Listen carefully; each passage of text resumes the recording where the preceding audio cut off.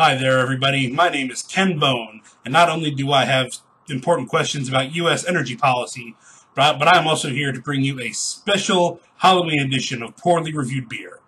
Now, if you've been following Pourly Reviewed Beer, you know that my friend Justin is not a big fan of pumpkin beers. So for this Halloween Pourly Reviewed Beer, he brought me in to check out Southern Tier Brewing Company in Lakewood, New York, and their Warlock Imperial style brewed with pumpkins and natural flavor.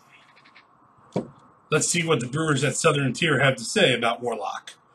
We decided to turn things up a bit this year and brew Warlock to a Blackwater, Blackwater Series appropriate 10.0 ABV. Warlock is brewed to enchant your palate on its own and also to counterpoint our Imperial Ale Pumking. Make your own black magic by carefully pouring this Imperial Stout into a goblet. Dark and Mysterious, the Blackwater series, is serious about high gravity. Reanimate your senses with Warlock's huge roasted malt character, moderate carbonation, and spicy pumpkin pumpkin pie aroma. As I said, it uh, comes in at 10% ABV, and uh, ingredients used include two row pale malt, caramel malt, black malt, Munich malt, pureed pumpkin, magnum hops, sterling hops, and natural pumpkin spice flavor.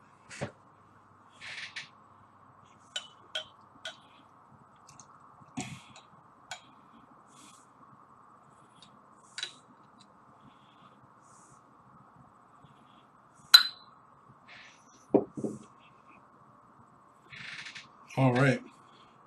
So pretty well pitch black. Yeah, just very, very, very dark. Just a little bit of head on top. Let's go ahead and give it a taste.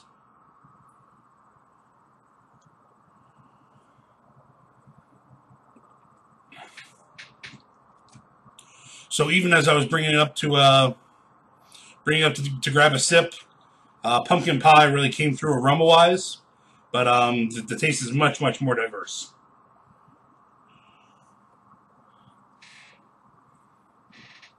Uh, pumpkin pie spices are a little bit present, but I'm getting a lot more chocolate, dark fruit, maybe just a hint of coffee.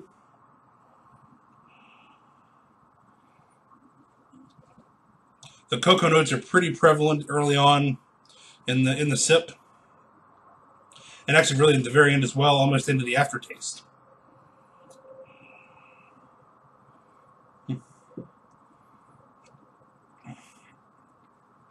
The middle is has uh, things kind of like raisins and some dark other other fruits, maybe plums, those kinds of fruits.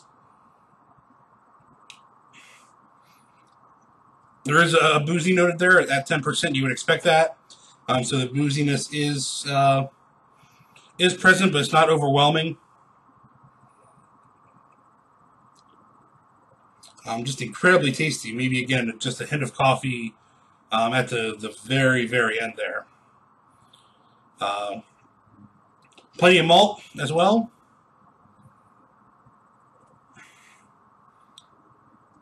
Kind of almost combines with the chocolate for a bit of a um, uh, malted milk ball kind of a kind of a sensation.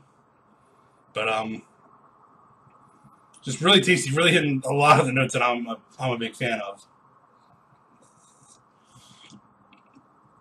Have to drink a little more slowly, sip it uh, sip it more slowly. It is 10% ABV, but um, just a really, really, really outstanding beer overall. And again, the pump, pumpkin pie, spices, cinnamon, uh, nutmeg, allspice, those kinds of things. I usually call them fall spices or winter spices.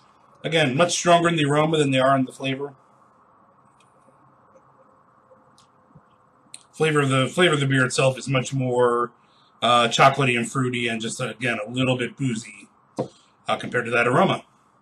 But I'm um, really, really, really terrific beer from uh, from Southern Tier. So that's it for this edition of Pourly Reviewed Beer. Uh, this was a, a, special Halloween edition of uh, Pourly Reviewed Beer. So next time, which will be tomorrow, as previously promised, uh, the 21st Amendment Brewery will be making its PRB debut. You'll find all of our reviews, both video and written, along with news, commentary, and more at pourlyreviewedbeer.com. Also, check out PRB on Twitter and Facebook. Those links will be in the description below. And if you are so inclined, like this video and subscribe to this YouTube channel. Thanks for watching and see you around at Pourly Reviewed Beer.